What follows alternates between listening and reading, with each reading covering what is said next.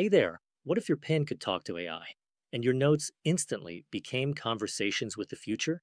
Leaks suggest OpenAI is developing its first ever consumer hardware, an AI powered pen, codenamed Gumdrop, targeting a 2026 launch. This isn't another gimmick gadget. Unlike failed AI devices like Humane Pin or Rabbit R1, this pen focuses on something everyone already does writing, handwriting, speaking head, speaking brain thinking. Handwritten notes instantly transcribed to ChatGPT. Voice input real time AI conversations. No screens, no distractions. And here's the wild part it's being designed with Jony Ive, the mind behind the iPhone, iPad, and MacBook Air. OpenAI even acquired his startup IO for $6.4 billion, bringing 55 elite hardware engineers in house.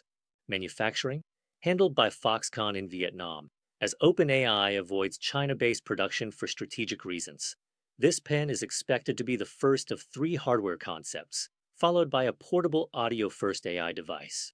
Under the hood, OpenAI is building a next gen audio AI model, launching in early 2026 with faster responses, natural speech, and even real time interruption handling. Leading the effort? Former character AI researcher Kundan Kumar. OpenAI CEO Sam Altman calls the prototypes jaw droppingly good. The goal? A third core device, calmer than smartphones, aware of your surroundings, simple, playful, and always with you. The smartphone era changed how we look at screens. This might change how we think. Rocket 2026 could be the year AI leaves the screen and enters your hand. Thanks for watching. Please subscribe for more concepts and quick explainers like this one.